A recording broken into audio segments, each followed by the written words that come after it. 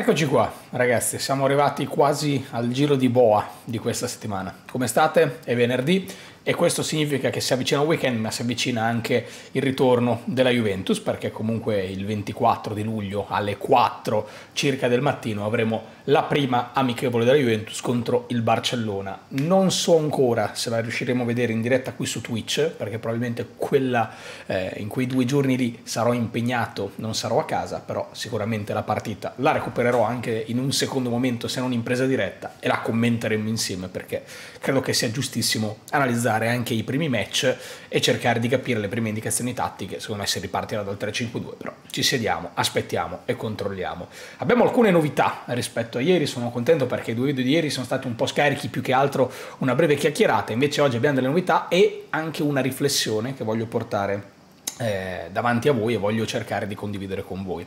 Intanto Artur Fiorentina, ne abbiamo parlato tanto negli ultimi giorni, ora è fatta, Artur è arrivato a Firenze e quindi viene annunciato anche dai social viola, giocherà lì l'anno prossimo e uno è uscito Ora concentriamoci sugli altri che sicuramente saranno eh, da, da, sistemare il prima possibile come Zaccaria e lo stesso McKenny che comunque partirà per andare nei suoi Stati Uniti d'America per questa tournée con la Juventus. Pochi istanti dopo il video di ieri abbiamo avuto anche un rinnovo ufficiale di contratto perché Fabio Miretti rinnova fino al 2027 con la Juventus. Sicuramente un'ottima notizia, sapete tutti quanto io sia fiducioso in eh, Fabio Miretti, ho tanta tanta tanta fiducia nel fatto che possa diventare un giocatore da Juventus. Poi titolare, inamovibile, fisso, fenomeno, questo è un altro discorso, però secondo me Miretti è un giocatore molto interessante e sono assolutamente contento che abbia rinnovato con la Juventus per altri 4 anni. Meraviglioso, fantastico, partirà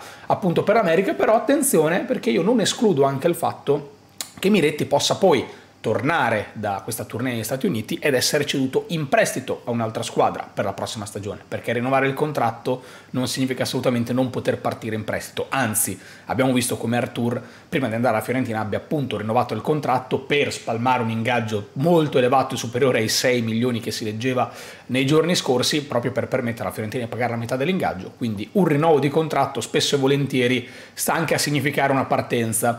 Ricordo anche Federico Chiesa stesso rinnovò il contratto con la Fiorentina prima di approdare alla Juventus l'ultimo giorno di calciomercato della stagione di Andrea Pirlo, proprio perché sennò poi il prestito diventava impossibile e Chiesa alla Juventus arriva in prestito con il pagamento e il riscatto all'anno successivo. Quindi sono tante cose che si incastrano nelle operazioni di mercato. Il rinnovo di Miretti, secondo me, non lo blinda alla Juve, lo blinda dal punto di vista del cartellino, quello sì, quindi difficilmente Miretti verrà ceduto a titolo definitivo in questa stagione e questo me lo porto a casa proprio per quello che dicevo prima, e cioè cioè ho fiducia nel futuro di questo ragazzo, però se partirà sarà semplicemente una partenza in prestito, poi magari un diritto di riscatto e controriscatto per la Juve, un po' come stiamo vedendo in eh, questi ultimi eh, mesi di calciomercato, perché saranno sparite le compartecipazioni da qualche anno, però il riscatto e controriscatto è diventato un po' il trend del momento per tanti club che non vogliono perdere il diritto alle prestazioni sportive di alcuni calciatori che ritengono assolutamente interessanti. Abbiamo visto appunto Filippo Ranocchia che va a Empoli con questa formula qua, niente di speciale, anzi abbastanza... Eh, di, di, di, datato, perché comunque è un po' la formula che aveva portato Morata alla Juventus per la prima volta da Real Madrid, però sta diventando veramente una formula applicata sempre più spesso nel mercato, segno che si sta andando in questa direzione qua.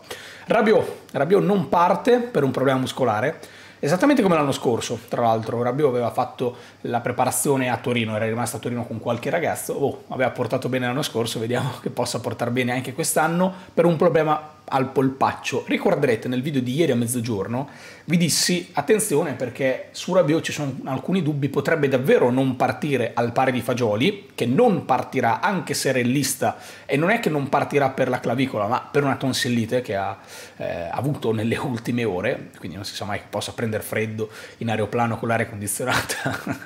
Rimettiti presto Faggio, un abbraccio.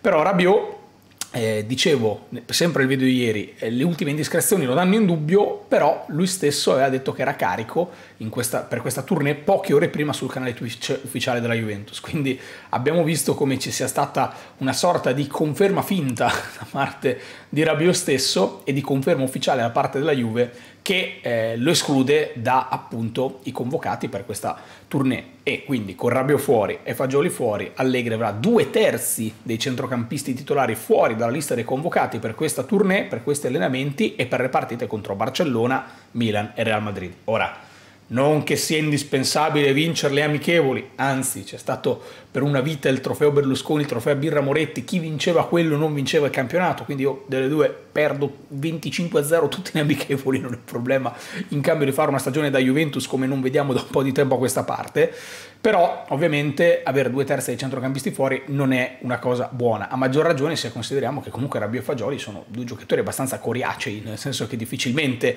li hai visti fuori per infortunio la passata stagione, oddio, un paio di partite eh, le hanno saltate entrambi, Fagioli sul finale poi si è fatto male appunto alla spalla, però sono due giocatori che bene o male sono sani in salute. Iniziare il campionato, anzi il campionato, la stagione con eh, due terzi dei centrocampisti titolari fuori, che di solito stanno bene, per qualche piccolo problemino, anche se poi Fagioli è una cosa da ridere, eh, Rabiot muscolare, quindi speriamo che, che, vada tutto bene perché abbiamo assolutamente bisogno di, di Rabiot in questa stagione. Volevo però, vi dicevo prima, fare una riflessione insieme a voi. Questa è la lista dei convocati della Juventus pubblicata 15 ore fa, quindi eh, nella serata di ieri. Come vi dicevo, non c'è Fagioli che qui era presente perché poi ha avuto questo problemino, però questa è la lista di giocatori. Rimane a casa Bonucci, al suo posto parte Rivinter, ci va McKenny che è stato reintegrato in rosa dopo qualche problemino per Pogba che è comunque presente, ma vi dicevo occhio perché Pogba, Pogba potrebbe non giocare comunque le, le, amichevoli, potrebbe andare là soltanto a lavorare. C'è Moise Ken che aveva avuto qualche problemino al fessore, però probabilmente niente di che, ma questa è la lista di giocatori che prende parte appunto a questa tournée americana della Juventus. Giunto l'eletto mercato chiuso, quindi bene o male questa dovrebbe essere la lista dei giocatori per la Juventus ideale in questo momento senza nessun tipo di cessione. Tradotto, se non arriva l'offerta per Vlaovic, quella irrinunciabile famosa, non arriva l'offerta per Chiesa, non arriva l'offerta per Bremer, bene o male questi dovrebbero essere i giocatori della Juventus, della rosa della Juventus. Secondo me, secondo me, uscirà McKenny, e ci sarà un altro ingresso a centrocampo dopo le cessioni di Zaccaria e McKenny in questo momento. Perché credo che Pogba nella testa di Allegri possa essere quel giocatore con qualità da inserire negli ultimi minuti di partita perché dal primo minuto difficilmente lo vedremo ma in cambio in, ca- in grado di cambiare la partita negli ultimi metri. Quindi io mi immagino addirittura un Pogba più spostato verso la tre quarti che verso il reparto di centrocampo da mezzala pura, a meno che non venga addirittura messo in cabina di regia perché io ho questo, eh, questo, dubbio su Pogba, ma non perché lo veda bene lì o lo veda bene davanti, anche se davanti lo vedo decisamente meglio rispetto che davanti alla difesa. Però la mobilità è limitata e ridotta e quindi un giocatore con una mobilità ridotta è molto più facile che riesca a giocare da fermo, quindi davanti alla difesa, o comunque che possa dare quella qualità negli ultimi metri con le giocate, che quelle non richiedono uno sforzo fisico di livello proprio perché gli vengono naturale. Fare la fase difensiva a centrocampo, avanti e indietro come uno stantuffo da mezzala, da box to box, non mi sembra in questo momento nelle corde per un giocatore come Pogba che ha tantissimi dubbi fisici. Quindi, ipotizzando fuori Paredes e dentro Rovella, fuori di Maria sostituito tra virgolette da Pogba. E poi abbiamo aggregati comunque Nicolussi Caviglia e mm, McKenny stesso e Barneccia faceva già parte nelle Juve e Cenonge che è un nome nuovo che abbiamo comunque già visto eh, nell'anno scorso in qualche amichevole. Abbiamo Uisen che si era già visto in un amichevole e abbiamo Ildis che non era ancora stato aggregato alla prima squadra ora finalmente c'è quindi Di Maria può essere tra virgolette numericamente sostituito anche da Ildis e c'è Sule che l'anno scorso era stato sfruttato poco. E Quadrado sostituito numericamente da UEA Bonucci sostituito numericamente da De Winter e Uisen c'è lo stesso Cambiaso che è rientrato alla Juventus. Numericamente siamo quelli. Aggiungiamoci Rabiot che è fuori da questa lista. Io credo che questa sia comunque una rosa interessante che non significa che sia la rosa migliore del mondo, la rosa migliore della storia della Juventus, però secondo me questa è una rosa interessante. Manca ancora qualcosa? Assolutamente sì. e per quanto mi riguarda manca qualcosina dietro, andrebbe migliorato dietro. Poi vi dico, la sensazione è che in questo momento possa arrivare un attaccante, perché, un centrocampista, perché Pogba secondo me viene visto quasi più come attaccante, anche se qui è messo nei, nei centrocampisti. Qualora venga considerato Pogba, perché magari non è nemmeno considerato ne, nella testa della Juventus, di Allegri, dei dirigenti. Però io continuo a leggere che questa rosa è scarsa, è scarsissima, è peggiorata, non si può fare più di un sesto posto, quinto posto, quarto posto, terzo posto, quelli che saranno. Però ragazzi, lo scorso anno io ho letto anche tante critiche nei confronti di Paredes, che era svogliato, eh, sono critiche condivisibili secondo me sia per Paredes che per gli altri giocatori che andremo a nominare. Svogliato, non è entrato in gruppo e bla bla bla. Quadrado, è vecchio, non salta più l'uomo, è bollito. Di Maria è svogliato, pensa al mondiale, è arrivato alla Juve solo per, ha fatto degli errori importanti, non è stato il miglior di Maria. Secondo me sono tutte cose vere. E sono sicuramente dei giocatori ingombranti dal punto di vista della personalità del, del palmarès quello che volete. Però se pensiamo al quadrado, al Di Maria, al Paredes dell'anno scorso e ci facciamo un esame di coscienza personale, che possa essere stata colpa di Allegri o dei calciatori stessi, quando l'anno scorso abbiamo iniziato la stagione, che aspettative c'erano su questi tre calciatori? Più alte e più basse rispetto a quello che hanno fatto. Ribadisco, colpa di Allegri, colpa dei calciatori, non mi importa.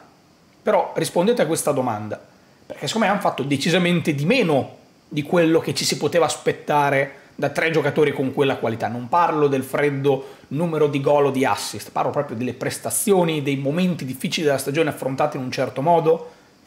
Lasciate da parte di chi ha la colpa, ma di più o di meno. Io mi aspettavo di più.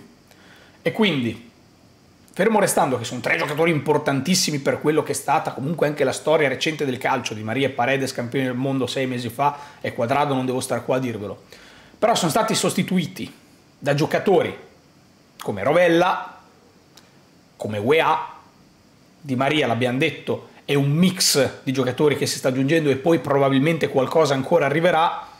Non dimentichiamoci che c'è Chiesa che rientra dal primo minuto che l'anno scorso ha iniziato ad averlo a febbraio, gennaio, a un certo punto di vista, da un punto di vista atletico, quindi ti è mancato nei primi mesi. Quindi questa rosa probabilmente ha nomi, ha nomi, perché il nome di Di Maria, il nome di Quadrado, il nome di Paredes ci sono. Però probabilmente come potenziale, come quello che potremmo vedere in campo, mia umile opinione, questa squadra qui con Rabiot può essere addirittura di più di quello che è stato l'anno scorso. Aggiungiamoci De Winter per Bonucci, che è un altro di quelli Bonucci, quante critiche sempre giustissime. Poi io capisco che sia difficile comprendere, decifrare e pesare il valore di giocatori come De Winter che la Juventus non ci ha mai giocato, Rovella che la Juventus non ci ha mai giocato, UEA che la Juventus non ci ha mai giocato e per Di Maria sempre quel discorso che... Però, però per quella che è stata la stagione dell'ultimo anno di Bonucci, quella che è stata l'ultima stagione di Paredes, quella che è stata l'ultima stagione di Quadrado, quella che è stata l'ultima stagione di Maria, io sono fortemente convinto che nonostante ci siano meno nomi, ci sia più freschezza, più voglia, più atletismo, più eh, probabilmente necessità di mettersi in gioco davvero, proprio perché non c'è il nome, ma il nome te lo devi formare. E quindi sono molto curioso di questa tournée sono molto curioso di questa squadra che probabilmente per Allegri è meno pronta. Cioè, questo non dobbiamo prenderci in giro, dobbiamo dirlo, per Allegri è meno pronta questa squadra. Però questa è una squadra decisamente più interessante rispetto a quella dell'anno scorso. È una squadra che si scrolla di dosso anni, nomi, ingaggi, storia, palmarès e mette dentro energia, freschezza, spensieratezza, voglia, grinta, necessità di raggiungere determinati standard. Non è male come cosa. Un altro cambio che possiamo fare è De Sciglio Cambiaso perché De Sciglio è rotto ed entra Cambiaso al suo posto. Quindi per intenderci, fuori Bonucci, fuori De Sciglio, fuori Paredes, fuori Quadrado, fuori Di Maria, dentro Cambiaso, dentro De Winter, dentro Rovella, dentro UEA e per Di Maria dentro Ildiz, dentro ovviamente non sempre per Di Maria, ma Uisen, Nonge, il ritorno di Chiesa e Pogba che vediamo come va, che fa anche un po'. Secondo me ci sono degli estremi per, eh, per essere intrigati da questa lista di convocati, da questa squadra, da questi nomi, perché ragazzi io poi mi va bene tutto, però io non so quante squadre in Italia possano decidere di aggregare così alla rosa della prima squadra una squadra che in teoria ha delle ambizioni, giocatori come Uisen, Nonge o Ildiz, che magari non sono pronti per essere titolari decisivi in Serie A, ma sono prospetti interessanti. E se delle squadre come Sassuolo, Empoli, eh, quelle che volete voi, ditemi Udinese, decidono di avere nel settore giovanile dei giocatori del genere, decidono di metterli in prima squadra e fargli fare due stagioni in prima squadra, questi profili in un anno, un anno e mezzo diventano giocatori da 30, 40, 50, 60 milioni. Noi iniziamo ad aggregarli. Poi per fortuna abbiamo anche dei giocatori più pronti che in questo momento possano prendere il loro posto, possano dargli il tempo di venire su senza fretta, senza scorciatoie.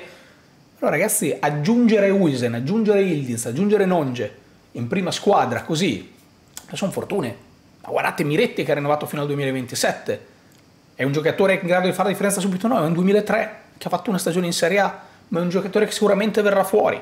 Guardate Fagioli, che l'anno scorso non gli si dava un euro, è diventato un giocatore titolare della Juve. Tutti i giocatori sono passati da questo status di ma sì, però non ci sono mai stati, non hanno mai fatto, non hanno mai giocato tutti.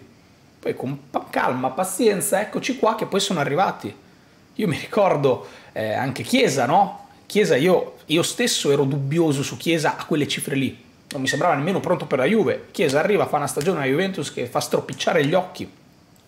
Quindi ci vuole anche un po' più, un po più di coraggio. Ealing Junior, un altro nome che l'anno scorso ha buttato nella mischia della Juventus e fatto una stagione Ealing in cui secondo me ha giocato anche troppo poco per quello che ci ha fatto vedere. Io non sono ancora conquistato da Sule, lo sapete, ve l'ho detto tante volte, perché a me non è che mi, dai il giovane e allora io sono contento. Io voglio che poi in campo qualcosa ci sia. Me su lei ancora mi deve dire tanto. Me su lei ancora non mi ha raccontato niente. Però Miretti qualcosa me l'ha fatto vedere, Ealing qualcosa me l'ha fatto vedere e ora mi siedo ad aspettare che eh, Huisen, Ildiz e Nonge mi facciano vedere qualcosa, che Guea mi faccia vedere qualcosa. Sono contento, eh? sono molto contento, perché secondo me ci sono dei margini di miglioramento evidenti in questa rosa qui e ribadisco, non credo che la rosa sia completata, ma quasi. Mi aspetto un altro nome, soltanto un altro nome. Poi, dovesse uscire Alexandro, allora magari vanno in, a cercare un colpo in difesa. Dovesse uscire Vlaovic, allora vanno a cercare un colpo avanti. Dovesse uscire, non so, Pogba che va in Arabia, allora forse fanno addirittura due centrocampisti o uno solo perché Pogba non conta, non lo so. Secondo me qualcos'altro arriverà, dipenderà tanto dalle cessioni, dipenderà tanto dalle condizioni di Pogba, però a me leggere una lista del genere e sapendo che Rabiot e Fagioli sono a casa per problemi e quindi comunque fanno parte della rosa Juventus, io, io delle speranze, non vi dico nella stagione successiva immediata, ma delle speranze in generale per il futuro sulla Juventus ce le ho, perché sono davvero convinto che da quel punto di vista stia lavorando bene. E Giuntoli, quando l'altro giorno parla di competitività e di sostenibilità, fa questo discorso qui. Quindi io capisco che Di Maria, Quadrado, Paredes, Bonucci siano personalità ingombranti che ora non ci sono più alla Juventus. Però se prendi in esame le stagioni, l'ultima stagione banalmente, l'ultima stagione di questi quattro giocatori, non mi sembra che la Juventus abbia perso chissà che cosa, anzi, e probabilmente invece questi giocatori qua che sono stati inseriti, qualcosina di più potranno darlo rispetto all'ultima stagione che hanno fatto loro, anche se sono più giovani, se non hanno mai giocato nella Juventus, sono alcuni delle incognite, sicuramente.